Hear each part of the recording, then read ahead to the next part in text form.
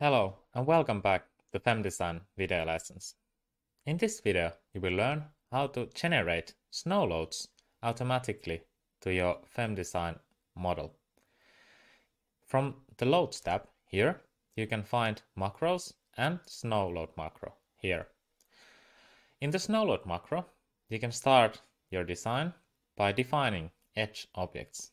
And from default settings, you will find the snow load panel edge object types. Here you can see select other connected roof, attic wall, tall building, snow fence and snow overhang. In this example I'm going to show you how to create a snow overhang area or line to this structure here. So I'm going to select the snow overhang. I'm going to click the panel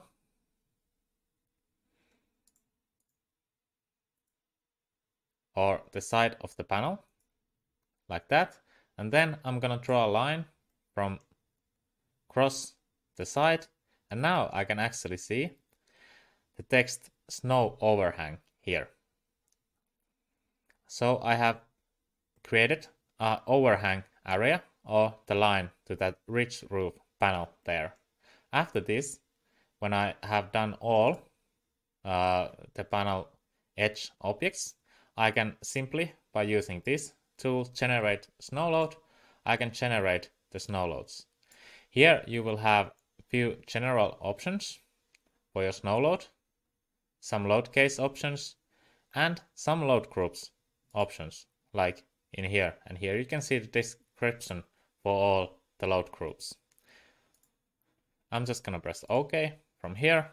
And now you can see that the FEM-Design has automatically generated the load cases for me in here. And if I check the load groups, I can see that it has also made a snow load group here with the snow loads that have been generated.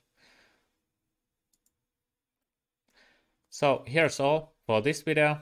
I hope you enjoyed watching. Thank you for watching and see you in the next one.